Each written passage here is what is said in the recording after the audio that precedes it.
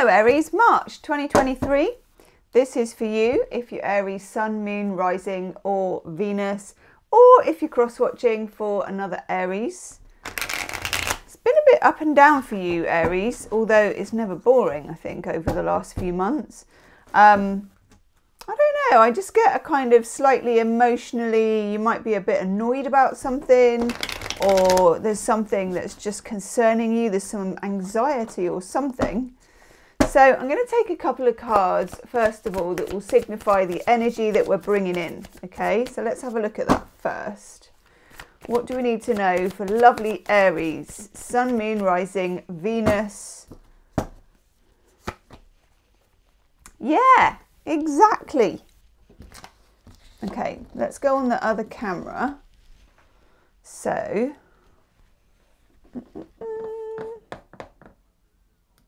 you can see the cards. Just bird watching out the window as well. Okay, so Aries. Remember, this is a general reading. I'm just going to put some hand cream on. Let's let's get let's get ready for this. It's a general reading, so it's not going to resonate with everybody, but do take what does resonate for you. And if it really is your story, there will be an extended at the end as normal. And also, um, that's the, for that, there's the first link in the description box. But before that, I will be doing a little pick a card at the end of this reading as well. That's a new thing that I'm doing this month. Um, so stay tuned for that. And there'll be just like one, two, three major arcanas. So if you've got like a particular question, um, have that ready. Okay, now looky see. Looky see, Aries. We've got the King of Wands, which is gorgeous energy. Very often it represents you because it's the Fire King. And it can be Leo or Sagittarius. For some of you, this may be somebody that you are involved with because it does often come up as well when there's like a connection, when there's a kind of there's a high attraction relationship, is how I'm going to put it. Sometimes the King of Wands can be on the other end of the scale and be a bit of a player um, or just be really popular. Often it's somebody who kind of, you know, they're friendly, they've got a bit of human heat about them.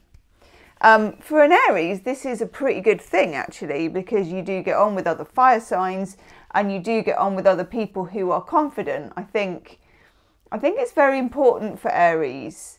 Um, and I'm going to say here, particularly Aries women, and this is just because uh, my best friend's an Aries woman, so I've learned a lot. We've grown up together, very different star signs, very different people. But I think that, and let me know in the comment section because I always want to know about this. I think Aries women in particular are a bit misunderstood in the astrology books and things. So, Aries women, obviously, you're ruled by Mars, which is the uh, god of war, and there is a sense in which you really need somebody you can go toe to toe with in a romantic relationship. And the shadow side of that, and I really do want you to pitch in about this, is what my friend calls the, the pigeon shit dilemma. Okay. So this is my Aries friend, and this this was when we were teenagers, but nevertheless, there's a bit of this, I think, in every Aries woman. Um, and some hapless person, they were going on a date, and a bird shot on his head, and she said, "Try as she might, the worm turned. She turned a corner, and she couldn't really fancy him anymore. She couldn't really respect him." Um, and I think there was another one who tripped up a curb in a certain way. And, and this is my best friend. She's not shallow, and I'm serious about that. She's not. She's actually one of the most. And this is the thing, this is the dichotomy, because Aries, as people, will stand up for the underdog. And she does, like fiercely. She will fiercely defend the underdog.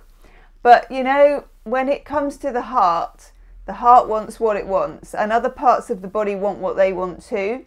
And I don't think you can ever be called to account for what you want in your romantic life because it's we're human and it's just very particular. And I do feel that you do, or Aries women in particular. I don't. I'm not speaking for the men only because I don't really know it. Well, My son is one actually. Um, but yeah, that's my son, so I'm not going to think about that. Um, but I don't know Aries men that I can ask how they feel. So I'm just going by my female Aries friends. That they very much need someone who is at least a challenge. Um, and in younger years, that can mean people who are a bit unavailable sometimes because they're a bit alpha and a bit by kind of design, a bit unavailable. But even as things even out, as they tend to do as we get older, you do need someone of substance as an Aries woman. You do. You don't need shrinking violets. It just doesn't seem to work. So the King of Wands can represent a romantic interest for you. But next to it, remember I said there's some anxiety knocking around?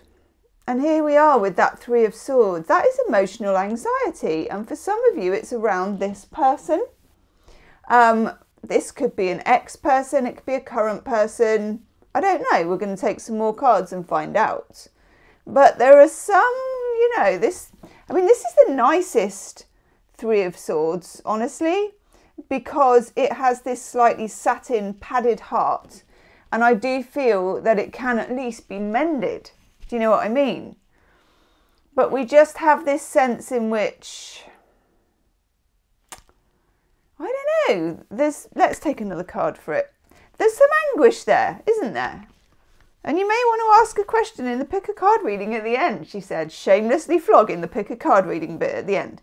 Only because it's new and I haven't done it, and I've made paper cut out one, two, and threes because I don't know how to do tech and put the actual one number one, two, and three on the screen. I must learn this. Okay.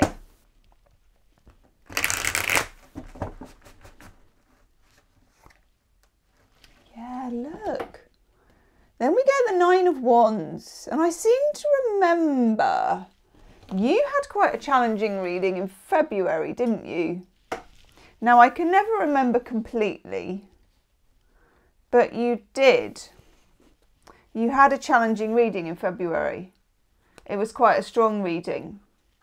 Now, Nine of Wands is boundaries, something which Aries does not normally have too much trouble with.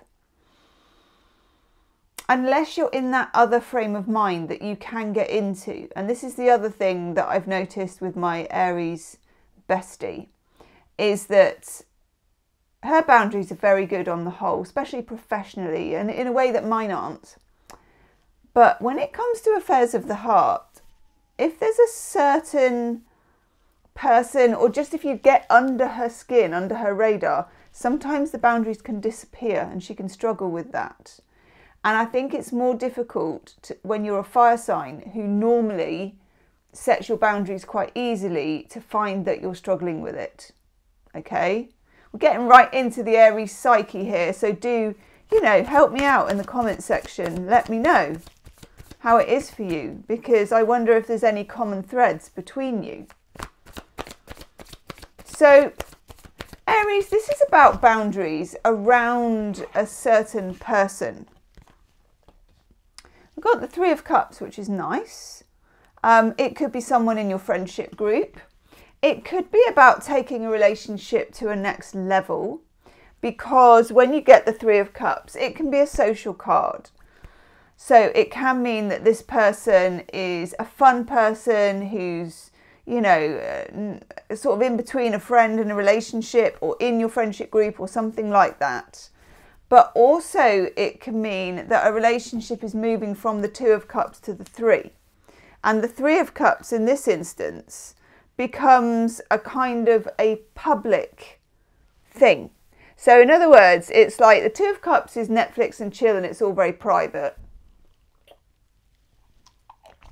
And then the Three of Cups is when you're, you know, adding them to a plus one for a wedding or they're meeting parents or something is happening that declares you are a couple.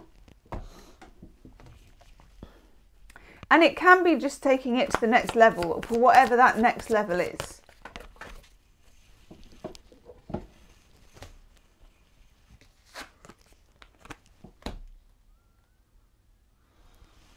Six of Swords, moving on. Now that's good because when you get the Six of Swords, you are moving from something that was possibly, again, I'm getting this needling feeling, causing you a bit of pain, to something which is much freer and much easier and much less painful. Some of you are managing, because the Three of Swords doubled is like the Six of Swords, and you can see here it's a very different energy the strings are still there and the birds which represent the swords are still going with you. And that's something that happens in the Six of Swords. You don't get to escape them. They still go with you, you know, but you do get to escape whatever the difficulty is that's causing you the anguish. Sorry, I've had a really dry throat. so I'm glugging water. Okay, What do we need to know, please, about this situation? It just won't resonate with everyone because this is quite a specific situation that I'm getting coming through. What's the story here? What do we need to know, please, for Aries for March? And of course, happy birthday! Sun moves into your sign on about the 20th of March. We've got a new moon in your sign on the 21st. And it seems only fitting that we have the Knight of Wands. Good. Now, with the Knight of Wands, of course, we have the Page, the Knight, the Queen, and the King. And what I really like about this is we get some progression, we get some maturity. So I do feel for some of you that a situation is going to progress and for some reason, this might trigger you a bit. Somebody might come forward and just say that they're ready, or they want to take it public, or they want to take it to the next level.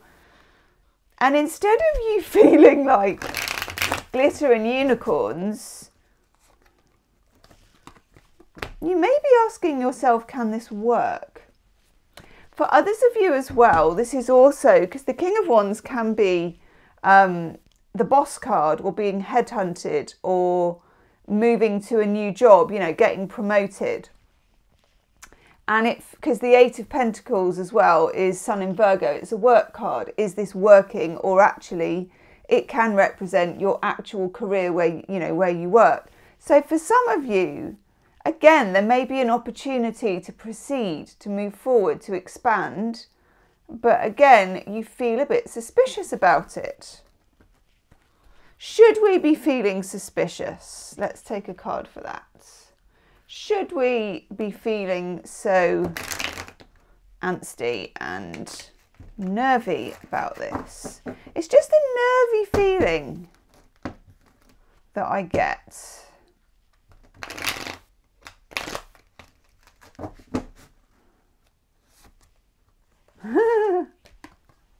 okay. Five of Pentacles. Now, Five of Pentacles, as you can see here, it always has this slightly interesting tension to it because we have this door and it's seemingly that this person, when you see someone sat like that, you assume they've been locked out. But the key is right there. If I can get it to focus. Come on, camera. Key's right there. Lock is right there. Door is right there. So, hmm. It feels like previously you felt shut out. And maybe you were shut out for whatever reason. And it feels like now you're being allowed back in or you're being invited back in. But the scars remain from what happened before, as they would.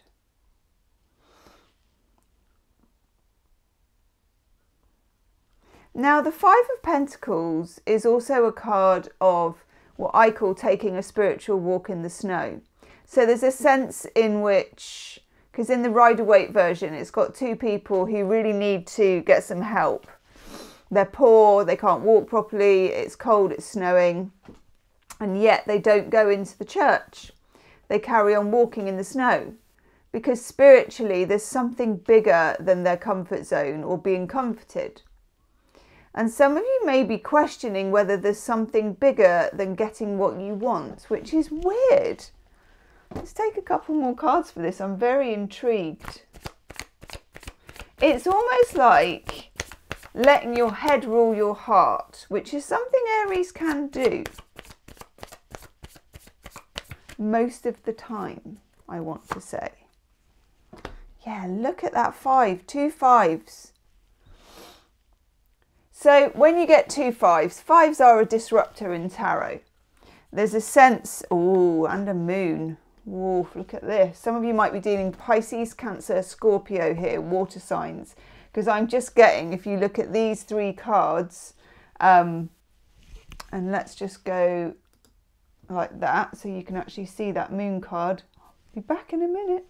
Um, look, you can see here this watery little triangle in the corner there is a, when we look at the Five of Cups, there is an air of regret over something. There's some sadness about what was lost.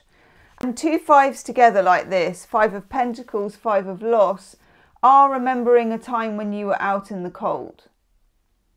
You know, they are, you are remembering a time when you lost something. And it could just be that this is a new person, this King of Wands but there was somebody you lost and it's triggering you because of old wounds. The Three of Swords is an old wounds card. And maybe this is your time to process it this month. Definitely, when we get to here, we get this moon card. And when we get the moon card, we've got it represents Pisces and Cancer in particular as star signs but it also represents the emotions and the subconscious and what you didn't even know about yourself, the feelings you didn't even know you had are kind of stuck in the moon card. It's very intriguing.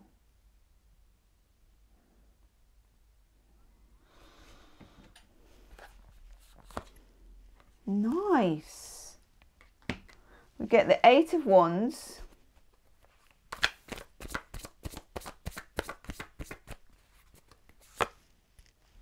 And the Two of Wands. That's good. That's a real wake up call.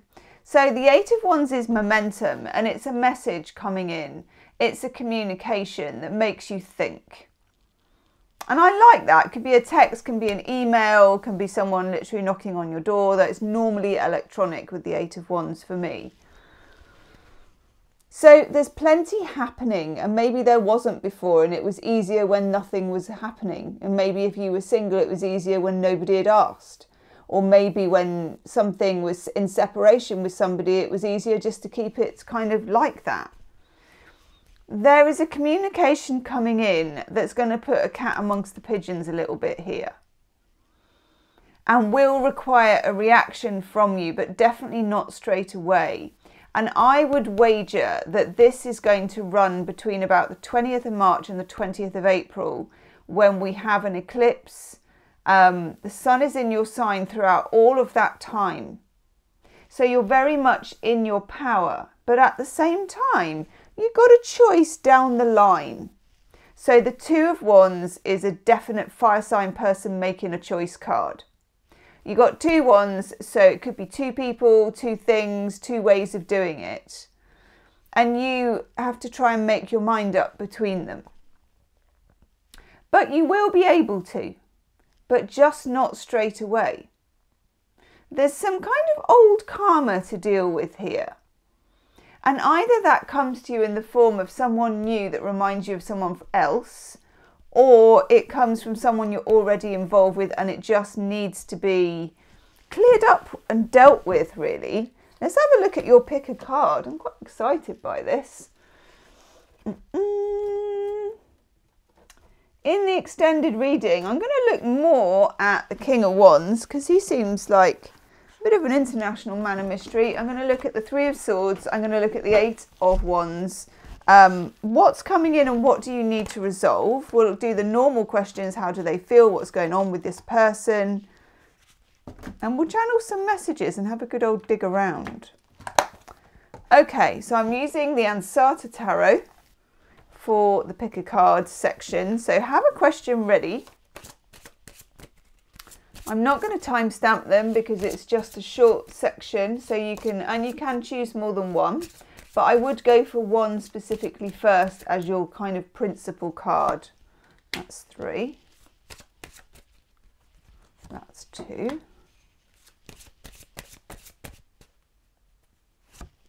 And that is one. Now let's get my paper hearts out because let's face it, I've spent time on these. I'll tell you what, for some reason it's going backwards. Don't ask me why. But that is the order now. Whoa, that's uh, changed it up a bit. Okay. Swing. Number one. Are you ready? Oh, I like that. And I will refer to these in the extended reading as well. We'll clarify them. Okay, justice. It's your opposite sign of Libra. And it's very much you on a good day. So you're a fire sign, and your opposite sign of Libra is an air sign. And here you're going to get an opportunity to be very rational and to weigh things up very carefully and sensibly. And your normal fire sign impulsivity won't come into this. You will be able to, when you get this message, when this sort of event happens, you will be able to compartmentalize it and to a certain extent detach from it and make a very rational decision about it. And I like the look of that for you a lot.